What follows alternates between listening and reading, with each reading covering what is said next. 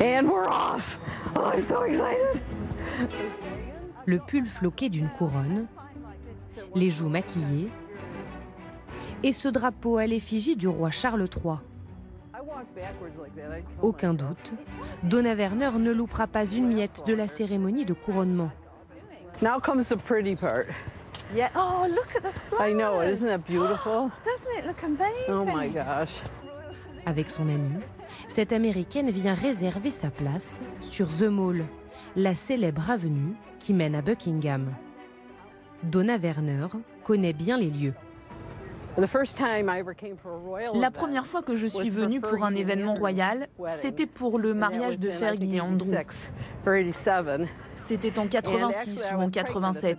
J'étais enceinte à l'époque, mais je suis venue malgré tout. Après cela, je suis revenue pour le mariage de William et Kate. Personne ne fait des cérémonies comme les Anglais. Et entre grands admirateurs de la couronne, les retrouvailles sont chaleureuses. Donna ne lésine pas sur les moyens. Sur ce sweatshirt, elle a imprimé un montage d'elle au bras du roi Charles III. Elle s'apprête à passer jour et nuit sur ce trottoir. Alors qu'elles installent leur campement, un cortège officiel passe devant elles. Vous avez vu, le roi vient de passer il y a quelques minutes. Quelqu'un était avec lui dans la voiture. Peut-être que c'était Camilla.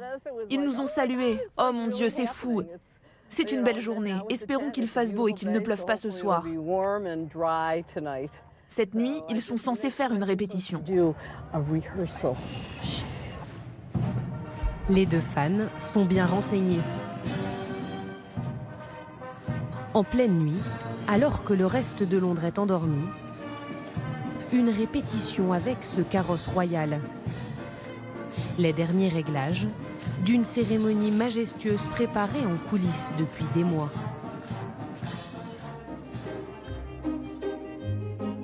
Dans cet atelier de tapisserie, ces chaises qui seront utilisées lors de la cérémonie par Charles et Camilla font peau neuve. Ce siège a servi en 1937 pour le couronnement du roi George VI, le père d'Élisabeth II. Les nouvelles armoiries de la reine consort ont été brodées à la main, l'assise rembourrée.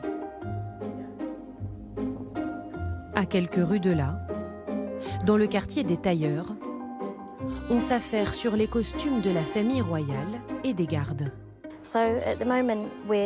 En ce moment, nous sommes en train de changer les badges sur les uniformes de la garde rapprochée de Sa Majesté. Um, nous devons faire cela sur 29 uniformes. Nous avons aussi des chiffres à changer sur leurs pochettes.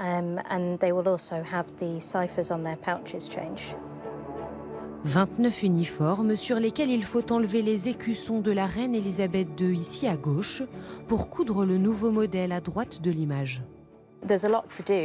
Il y a beaucoup à faire, mais vous savez, nous faisons de notre mieux. C'est tout ce qu'on peut faire. Et le jour J, tout sera parfait. Tout cela en vaut la peine. On pourra voir notre travail et on sera fiers. Um, C'est un moment historique. Tellement de gens vont regarder ces images pendant des années. Pour ce couronnement, les artisans ont été triés sur le volet. À la demande de Buckingham, les tailleurs ont dû prouver qu'ils limitent leur impact environnemental. Quand nous avons postulé, nous avons dû prouver que nous avions réduit notre utilisation d'emballage. Uh, nous devions prouver cela en montrant nos factures. Nous avons également dû donner nos factures d'électricité. Um, et puis, on a dû garantir que nous utilisions des ampoules LED et que toutes nos vieilles ampoules avaient été remplacées. Un dernier petit coup de peinture à l'entrée de l'abbaye de Westminster. Jusque dans le moindre détail, Londres se prépare à célébrer le couronnement du nouveau roi d'Angleterre.